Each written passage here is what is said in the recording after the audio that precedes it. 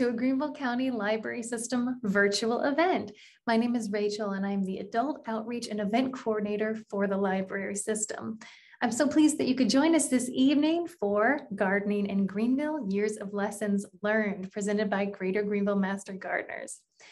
If you're interested in our other live virtual events, please check out our website. That's greenvillelibrary.org. And then you can check out adult events under our classes and events button to see our full calendar of events. We have so much going on all the time, lots more even this month. So be sure to check that out and register to attend. To check out on-demand videos, classes, and activities, select the adults category under virtual classes and activities. You can also learn more about gardening and sustainability by checking out our seed library page, and that's at greenvillelibrary.org slash seed library. So we always say the library is 24 seven when you can access everything through the website as well. If you're interested in checking out gardening materials, please make sure that your library card is up to date. Uh, if it's not, do come and visit us at any library location. We'll be happy to get you sorted and ready to go. We look forward to serving you soon. Now, please join me in welcoming our presenter for today, Kathleen Kempe with Greater Greenville Master Gardeners. Thank you, Kathleen. Hello, I am Kathleen Kempe. I want to start out by saying I've been a master gardener since 1999, but that does not make me a great gardener. I am an enthusiastic gardener. And I have learned a lot from some great gardeners. I have also learned a lot by trial and error and mistake. And I want to share my experiences with you tonight to give you a head start because I want you to garden. And if you're new to this area, uh, there's a few things I want you to know to encourage you to, to garden here. Gardening keeps you in good physical shape. I believe it helps you maintain good emotional health. And if done correctly, you can actually work with nature and enhance nature and preserve nature. So one thing, um, the, probably, I want to start with one of the most important things that I know about gardening in Greenville County is that there are excellent gardeners and good sources of information. Um, we are very lucky to have a, an excellent Clemson Extension service in Greenville County. And they're the ones that run the Master Gardener program.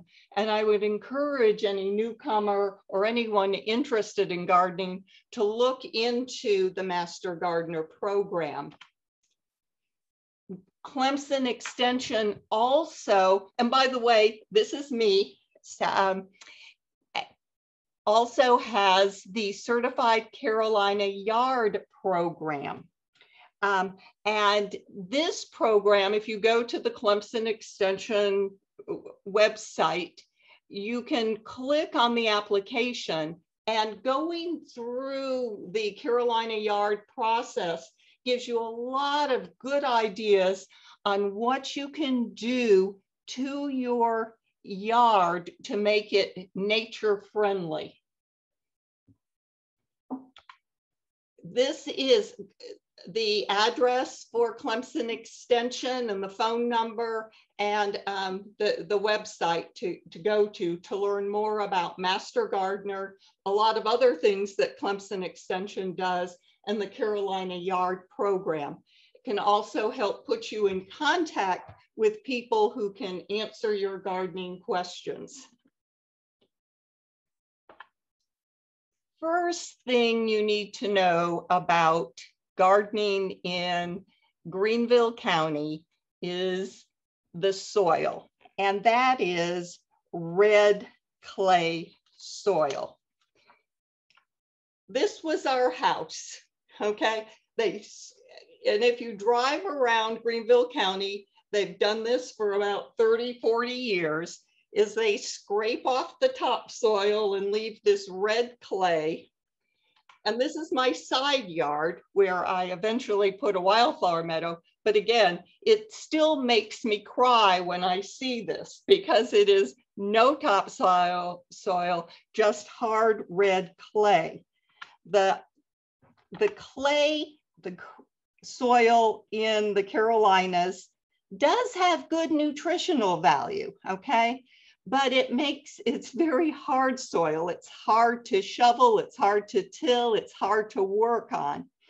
Um, the other thing is the red clay soil tends to trap and preserve um, weed seeds for many years. So when you dig in it, you're digging up weed seeds that have been perfectly preserved. And of course, they all sprout. So what do you do with this hard red clay? Well, the first thing you've got to do is find out exactly what is in your soil. And that's where Clemson Extension um, comes in.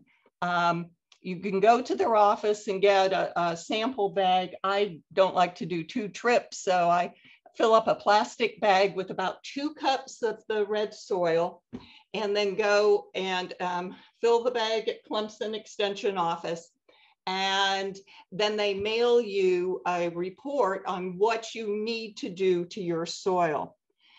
Um, most of the time in this area, you'll need to adjust the pH by adding lime, but again, get the uh, analysis so you know. The other thing that you need to do is add organic materials to the soil to break up that heavy, hard, red clay soil. And that means composting, um, we have never thrown out a vegetable scrap in 20 years. Uh, Clemson Extension and the Master Gardeners and, and the library often will have lessons on how to compost. You mulch and then you work that into the soil. We have never bagged leaves at our place. We gather them and work them back into the soil. And when we dig a hole for a tree or a shrub, my husband wearily pulls out the shovel and the pickaxe. This is the major lesson I have learned about planting things in the red clay soil.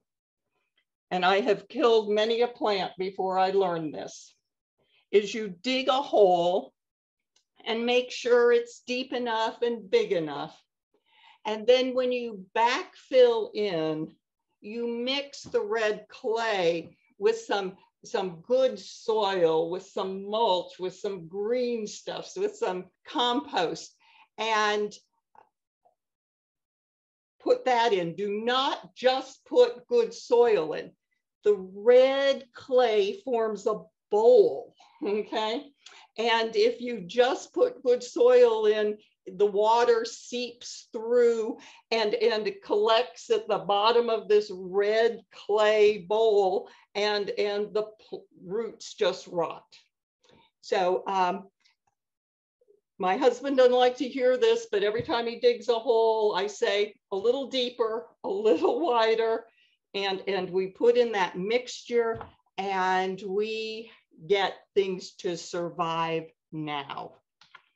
Um, this is Ron with the shovel and, and um, a persimmons tree that we recently planted and our trees are doing well, but takes a deep hole, it takes a wide hole, takes a mixture of, of good soil and red clay and um, plant in the fall. And I'll talk about that later.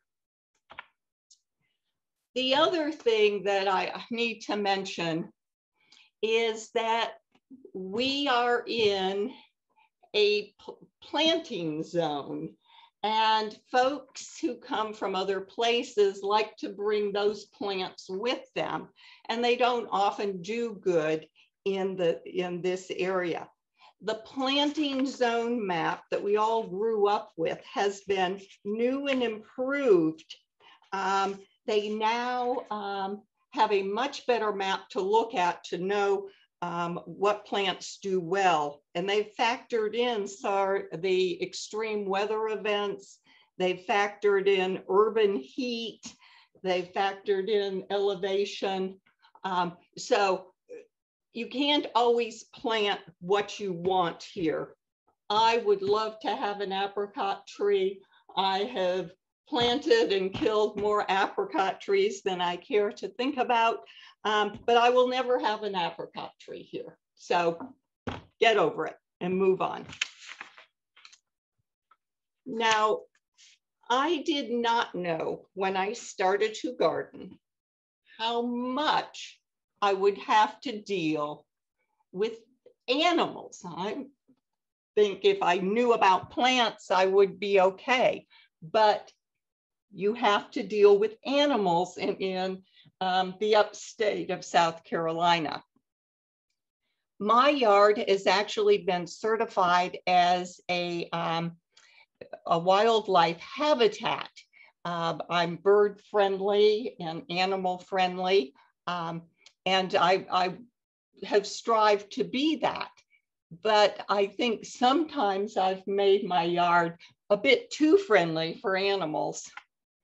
Um, I do not use pesticides or herbicides, and I use certain animals to tell me that my yard is a clean, safe, um, natural environment.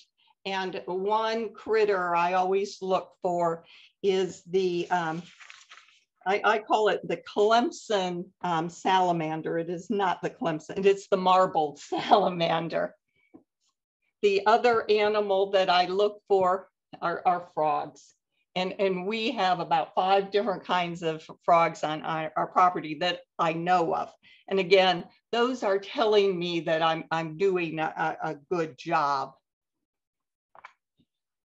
the other thing that I've had to learn to deal with are snakes.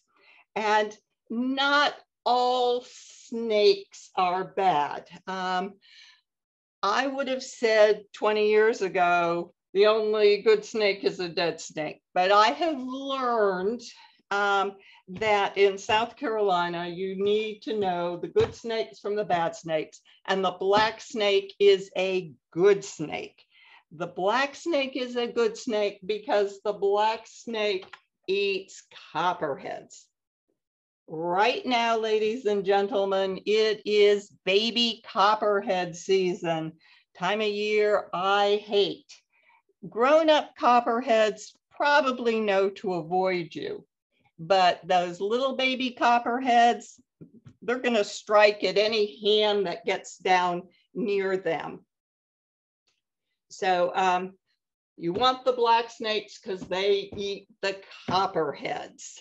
So um, for next two months, watch out for the baby copperheads. And if you see a black snake and um, count yourself lucky because you probably won't see any of the copperheads.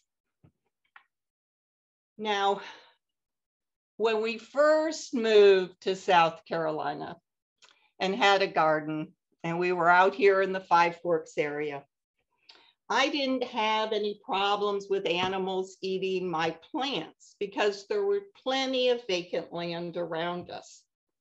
But now that we have subdivision after subdivision after subdivision, these animals have no other place to go to eat. So um, my yard and other yards are now their buffet um, table and I get turtles uh, munching in my garden.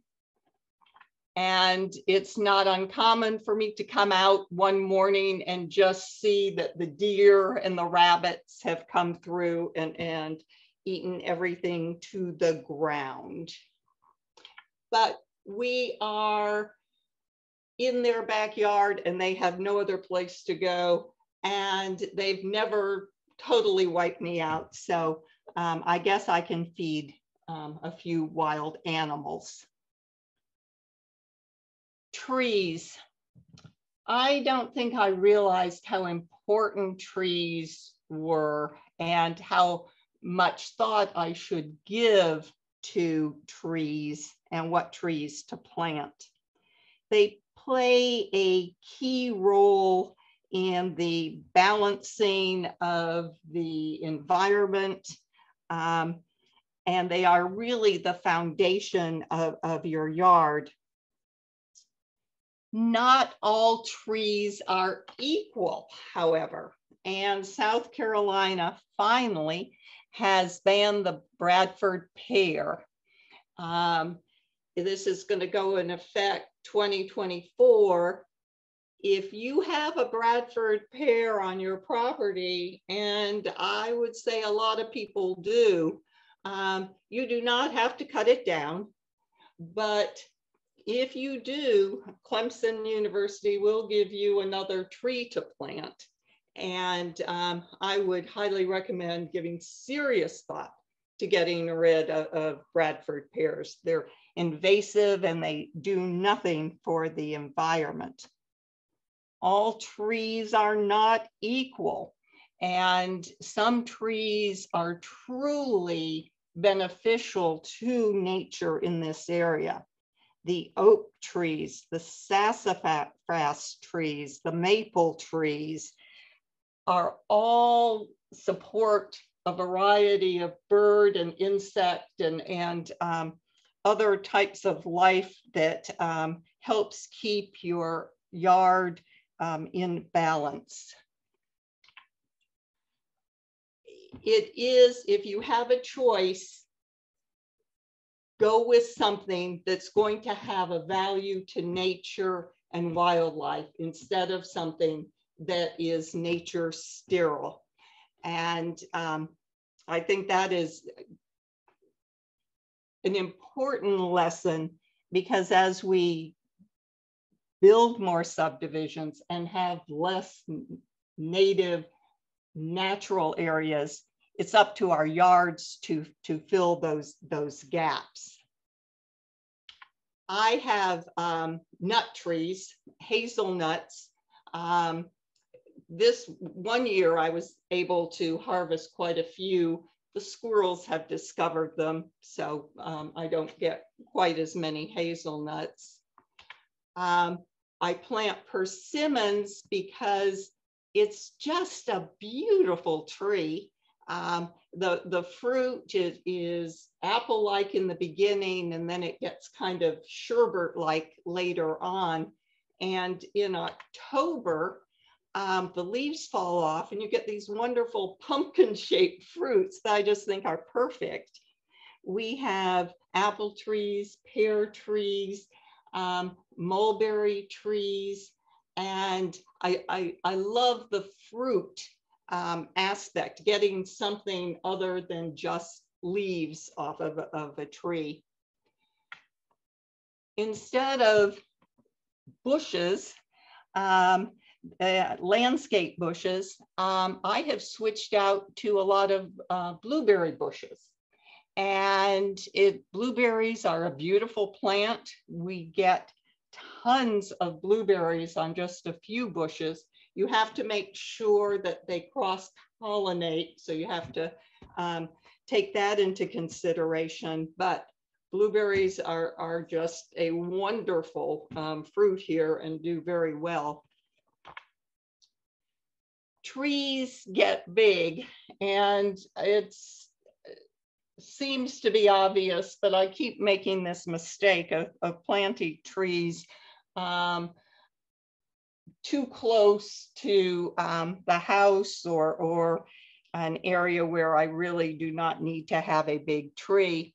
If you look at this photograph, I wanted a, a tea olive. I love the smell. I wanted it by the window. Um, didn't know it was going to get so tall and, and um, my husband had to go up and, and trim off half of it so it wouldn't interfere with, with, the, with the gutter. This is an oak tree. And 20 years ago, you could look out the window and there was the tiny oak tree way in the distance. And 20 years later, now it is starting to approach the, the gutter. So trees get big, sometimes slowly, sometimes quickly. Um, just take that into account. The other thing I like about trees is dead trees. Dead trees are wonderful for nature, and I think they're kind of artistic. So I always try to have a dead tree, and unfortunately for me, sometimes that's easier um, than I want on the, on the property. I wouldn't have a big dead tree, but a small dead tree, uh, they last forever in the yard, and, and the birds and the bugs just love them. Ah, this is a very sad picture for me. This is our Celeste fig tree.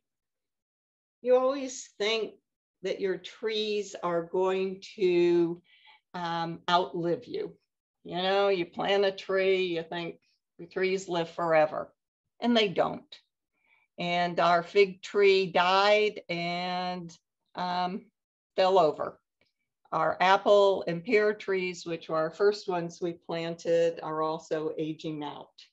So trees have to be replaced. And of course, that changes the dynamics. And you can see where now we've had to plant some grass where before I, I got by without grass because it was underneath the tree. Probably the thing that most people like to do is plant vegetables. And I do the seedlings.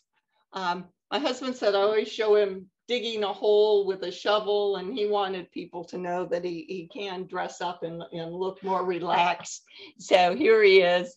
We always do the seedlings. We start in February. Um, you have to wait till the soil warms up. I know there's people who plant those tomatoes thinking they're going to be the first ones on the block to get the tomatoes but it's the soil temperature. And you just start the seedlings inside and then um, plant them out. Great place to grow squash, peppers, tomatoes. We use soaker hoses, we use mulch, um, and uh, manage to get um, good vegetable crop. This is a, a, late harvest for us. We get the kale, you see the persimmon at the top, tomatoes, tomatillos, peppers, and off to the side there, those are hops. Um, the flower is um, what is used um, to give beer that um, bitter taste. But this is the time of year when all these things come in. And this is kale. Um, I happen to like kale and it's a beautiful flower. Um, I let it go to flower and I'll have these flowers for um, well into December. Um, and then I collect the seed and I'm ready for the next year. Now, it doesn't take much to get more than you can eat um, if you have a garden or, or fruit trees. And this is where Clemson Extension also comes in because they tell you what to do with, with um, your excess fruit. When I was working, it was easy to give things to colleagues, but with COVID and retirement, we've sort of had to do, figure out what to do with all this bounty that comes in. I have found that um, for my blueberries, blackberries, raspberries um, to make cobbler and then freeze it into serving size. And we've been um, um, enjoying that now and throughout the winter.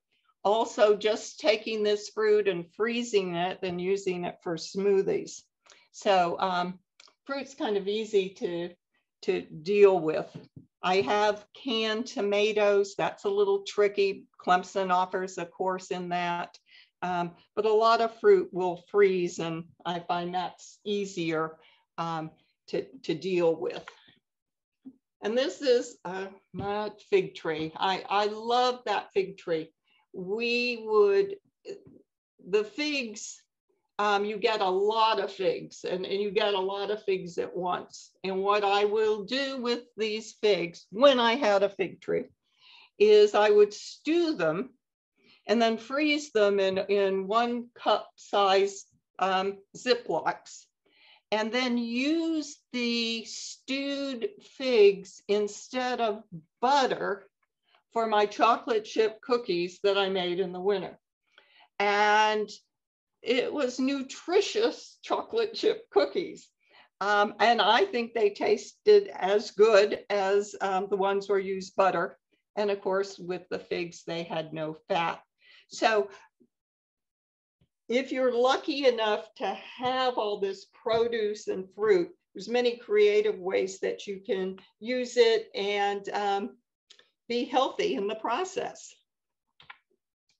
And here's the hops. Um, they actually um, need to grow up on a, on, on, a trellis. Our deck is on the second floor, so it's just perfect.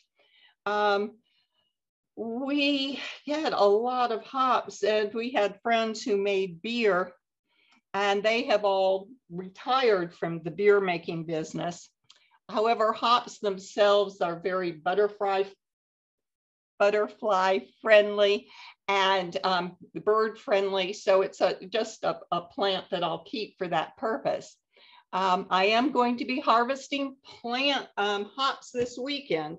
So if there's any beer makers out there, let me know and, and I'll harvest some and you can pick up some hops and make some um, Greenville County um, IPA. If I have a passion, it is for wild flowers. We, when we first came here, we would drive up to Asheville and I would see along the interstate where the North Carolina Highway Department planted the wildflowers. And when we bought our lot, it has a huge side lot. And I said, I want a wildflower meadow. I just think it would be the most wonderful thing to have a field of flowers and just go waltzing through with the birds singing and the butterflies flirting around. And I want a wildflower meadow. So I got a wildflower meadow and I'm just going to share at the end of these slides, the next couple of slides, you'll see a list of the flowers that I put but I just want you to look at um, over the years, my wildflower meadow, just um, just tons of, of flowers blooming um, everywhere, sort of out of control. There I am, and they're probably weeding. Um, different um, times of the summer, different things bloom. Um, it is very, very hard to maintain a wildflower meadow. Um, it looks like it's a, a, natural thing, but there's weeds and, and wildflowers compete with each other. So you have to kind of maintain the balance. And as I got older, a meadow became way too hard to um, can, to manage. And now I have, I would say, a wildflower bed instead of a meadow. But it is real hard for me to, to give up on that just um, enthusiasm of all those flowers blooming and, and just having um, this um, thing in my yard um, from about March to, to November. And oh, by the way, you can see a, a, a little dead tree off to the side there. Um, and this is, you can see how the meadow now is more like, like a, a, a, a bed. Now, this is also how a wildflower meadow looks after the um, flowers have bloomed and the seed heads are there and the weeds have taken over. So it's not always that great, beautiful color thing that I love, but um, still, wildflower meadow is an awesome thing. These are our some of the uh, plants that I've had in the wildflower garden over the years, the ones that kind of balance each other out. and um, the ones that I'm still keeping in my little wild um, flower bed. In, in the upstate, we are lucky that we can garden all year long. We are also unlucky that we can garden all year long because we don't really get a break. Um, one thing I have recently come to realize, and this is thanks to seminars that the Master Gardeners have put on, is that I have tended to do things at the wrong time of the year. I think most of us are um, in the spring, we walk by the nursery and we see the beautiful colored um, plants and flowers and we buy them and we plant them and we think spring is the time to plant things. And we want all the color and all the excitement during spring. Well, I have given this talk and I always give it in the fall because this is the time that you should plant things. This is the time you should transplant things. And this is the time you should divide up your stuff and, and, and spread it out and replant them. Because it is much easier on a plant to settle in over the fall and winter than it is to endure the shock of our hot and humid summers. Um, I have a lot of native um, um, forest plants. And nature does not have one season at which everything pops because animals and insects, they all need something throughout the year. So if you go with what nature plans, you will have things from um, about February and March all the, all the way to, to winter. This is um, right now, although when and we just walked through the neighborhood, most people don't have anything blooming. I have my late um, forest plants blooming. Here's my turtle heads and um, my hardy um, begonia and um, my um, um, native aster plants. So, and, and the lantana are blooming as well. So there's lots of things still blooming and, and while I garden all year, I want to go out and see things blooming and, and um, at their peak at all times of the year. And, and you can do that if you use native plants. Weeds.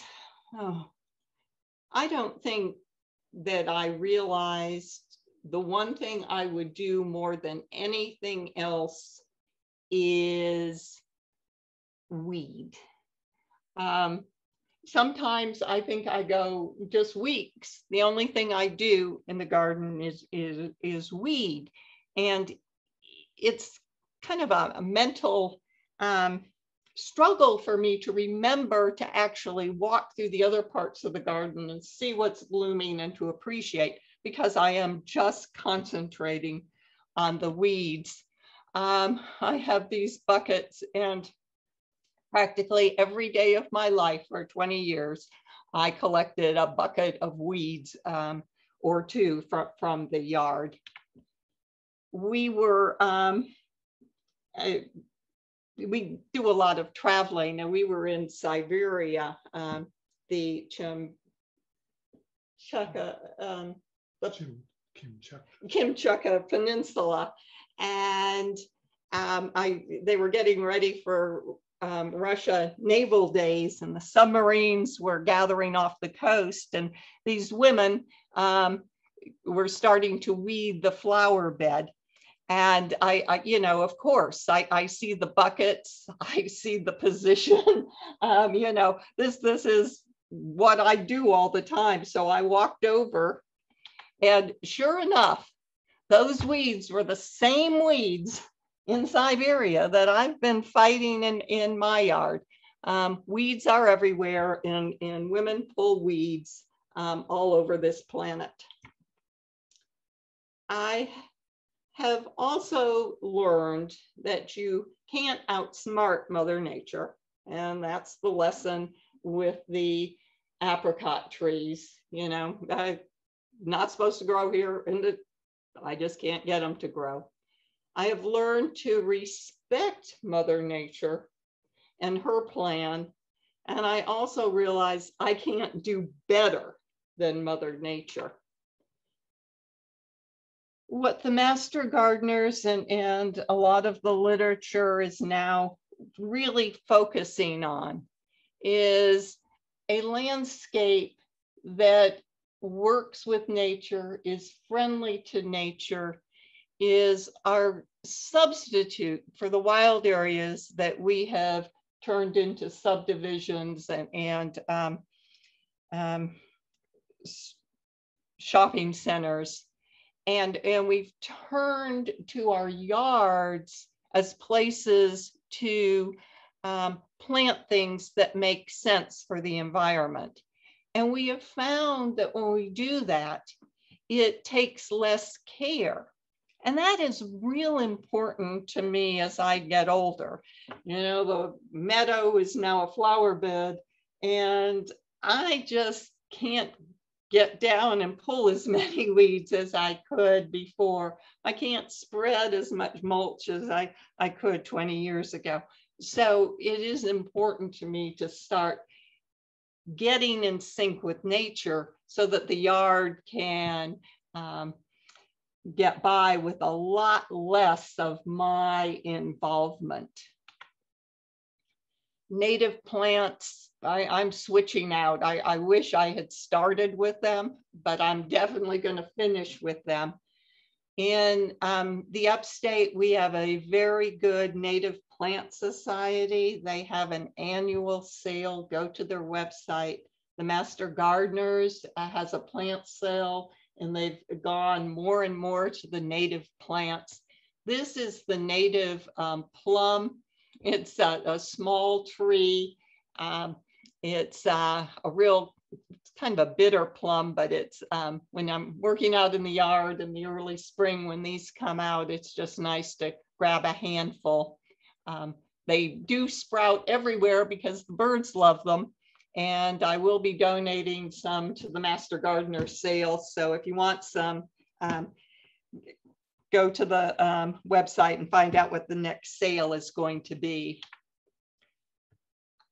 The other thing that I want to stress is that not everyone has a yard that they can just turn over to nature.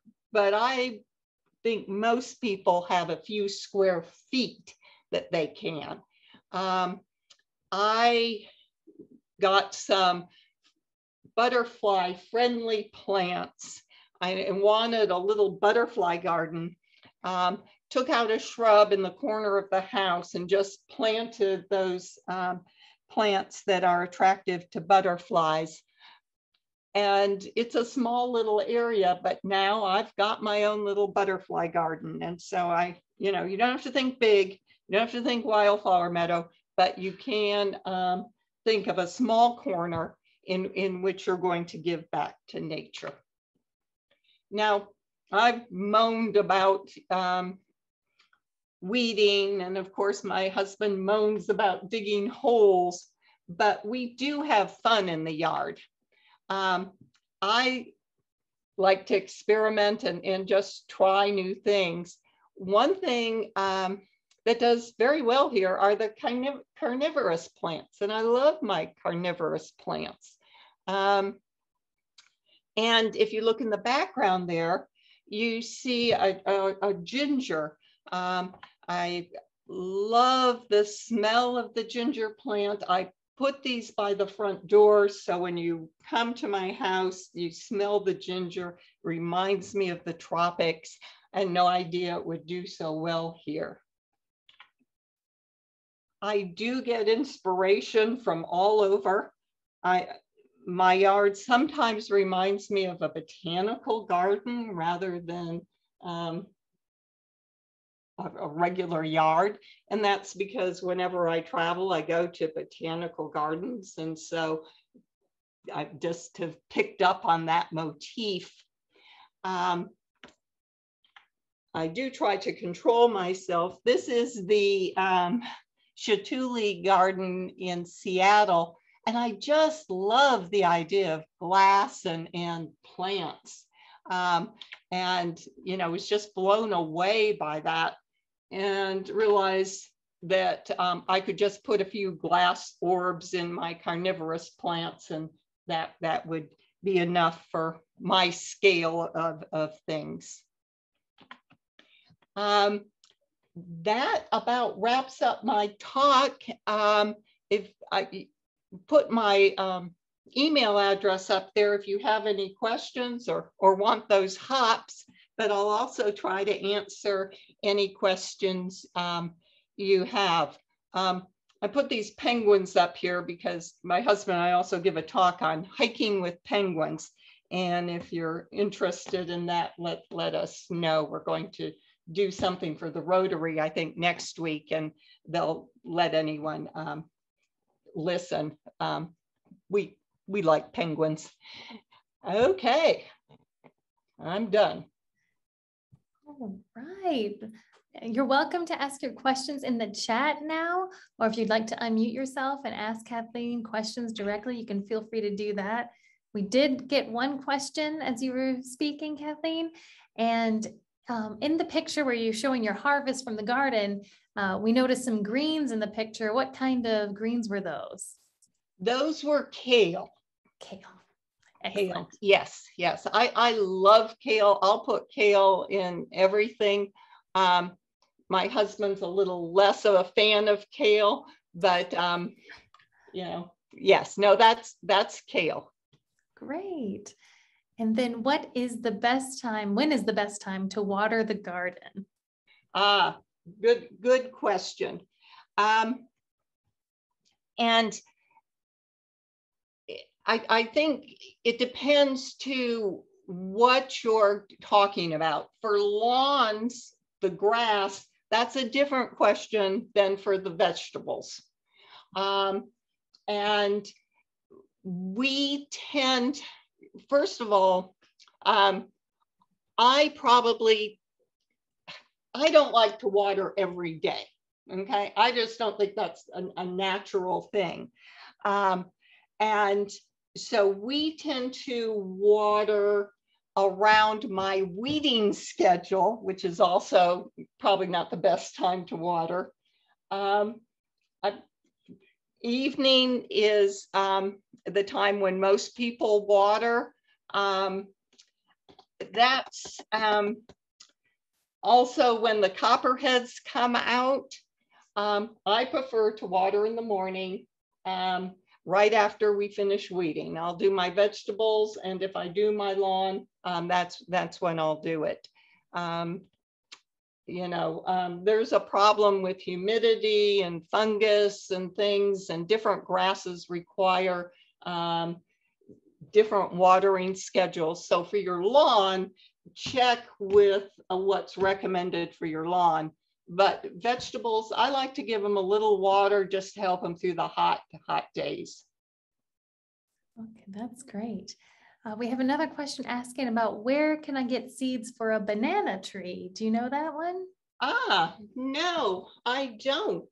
Um, good, good question. And I've not seen banana tree seeds or plants. So don't know, don't know. Mm -mm.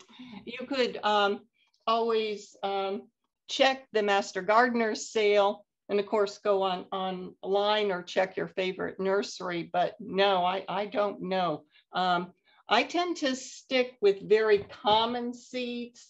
Um, and in fact, Five Forks Library, I'll put in a plug, is, is giving out seeds tomorrow, I think from noon to two.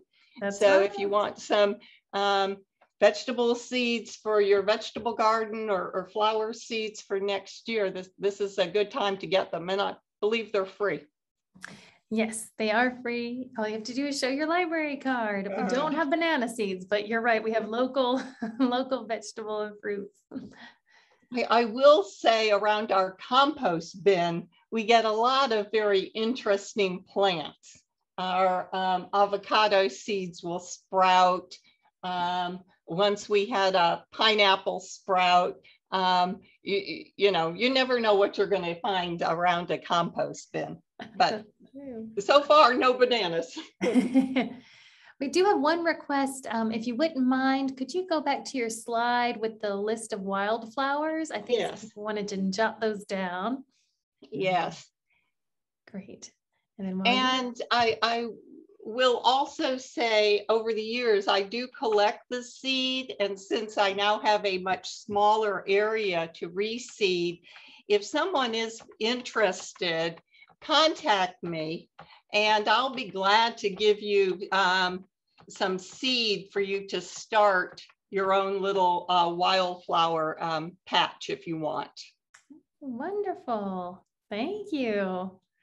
Yeah, and, and it is amazing to me how aggressive some of these wildflowers were. You always think that they, yeah, yarrow, oh, yeah. Um, you always think they're always in comp or um, you know in friendly uh, um, competition with each other. They're ruthless. They, you know. Uh, we do have another question about compost. Um, so someone's just starting out and they don't have a compost pile yet, and we're wondering if you could recommend somewhere to buy compost. Well, I mean. pipe house. Yeah, um, and we have, um, uh, we have two compost bins, okay? And basically, um, we put it in one bin, then we go to the other bin. I seldom empty my compost bin. To me, it's just a way of keeping it out of the landfill.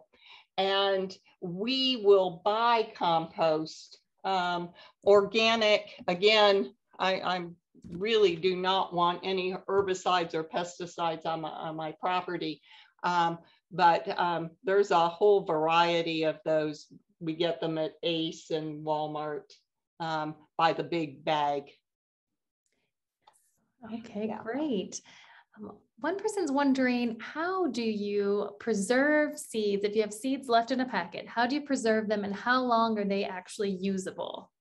Ah, and that depends on the seed. I will tell you, I am still using the same basil seed that I had 10 years ago. Um, I have some seed that if I don't use it up the next year, it won't grow. Okay, might as well just throw, throw it out. But um, I store the seeds in the garage, and most of them have uh, several years. I would say flower seeds. Um, vegetables, because I'm putting so much effort in the seedling and you know putting it outside and watering it every day, I tend to buy um, new vegetable seeds. Although the library in Greenville County sometimes give out last year's seeds, and I've had good luck with that. But I wouldn't go more than two years out on, on vegetables. But my flower seeds, I know they're several years. Fantastic. All right, and how do you collect seeds from plants when you were talking about your kale plants flowering and then collecting uh, them Yeah. later?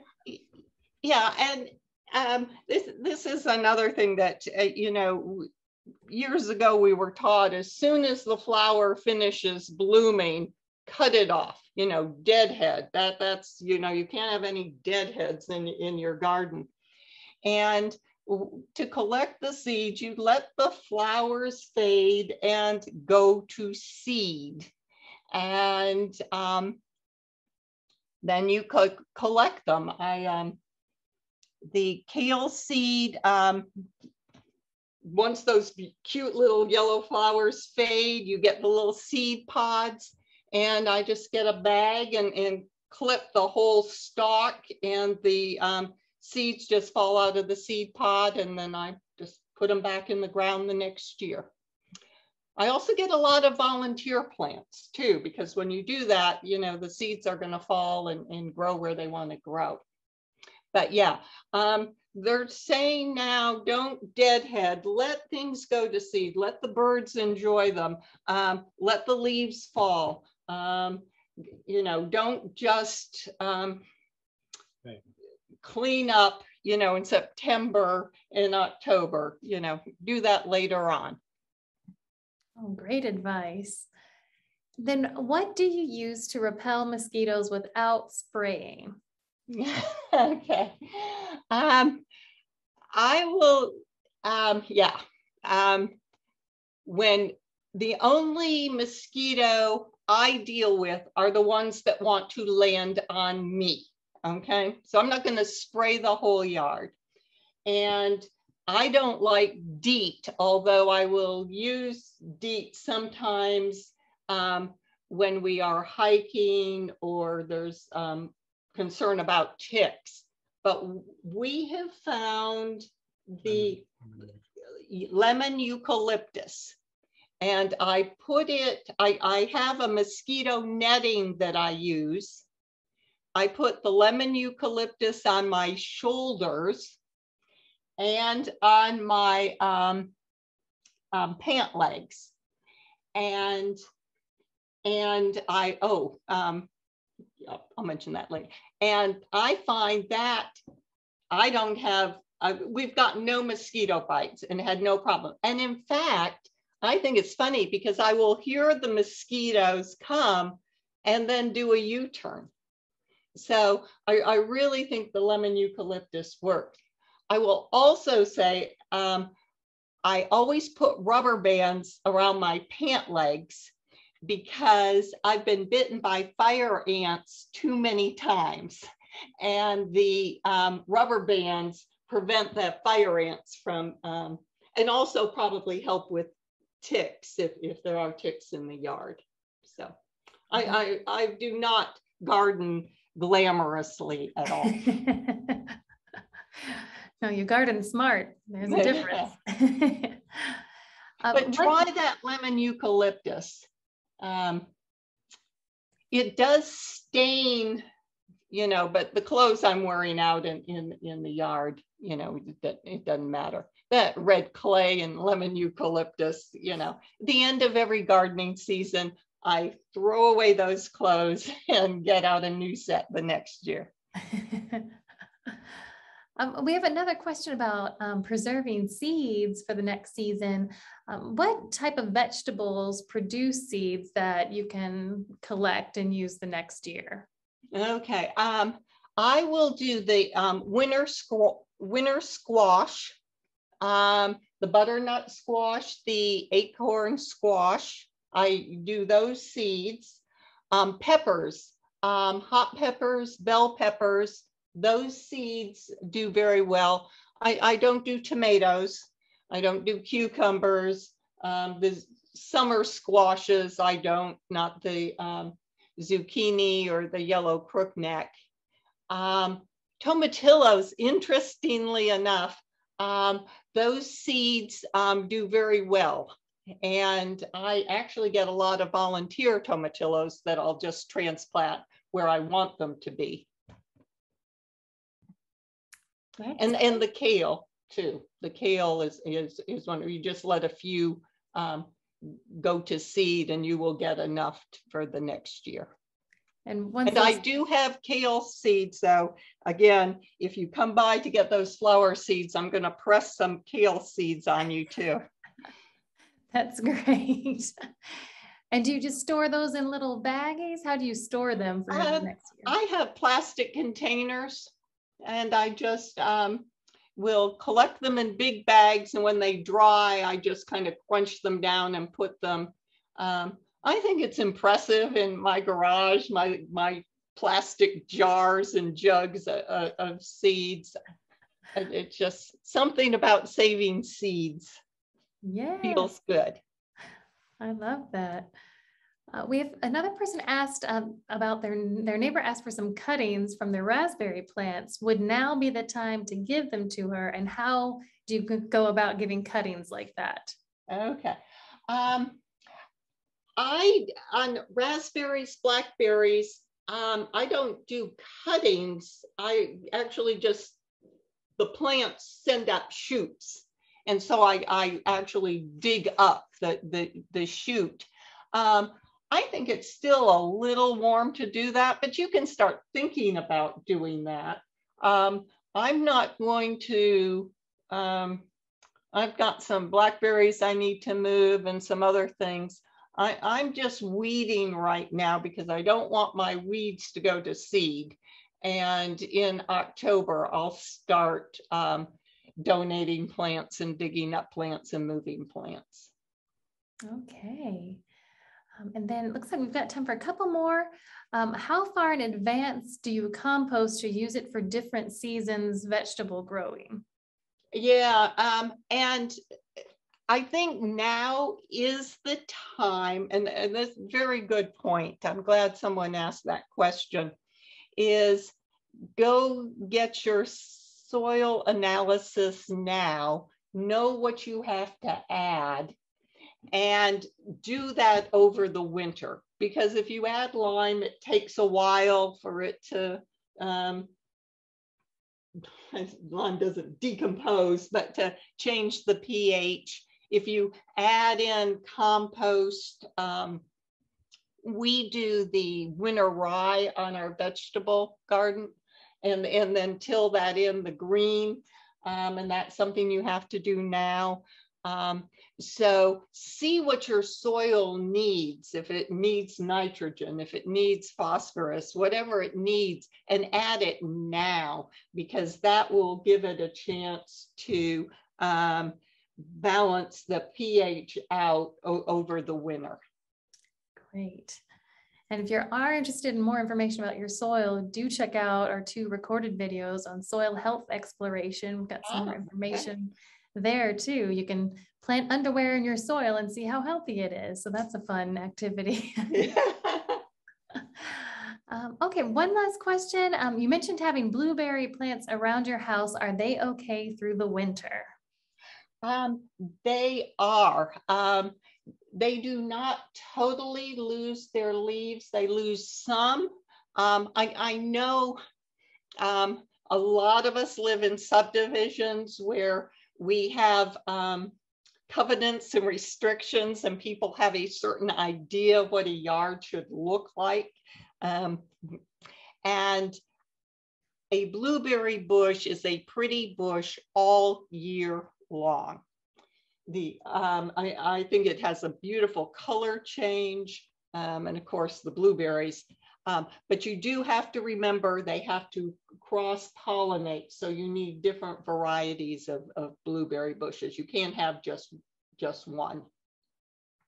Okay, great.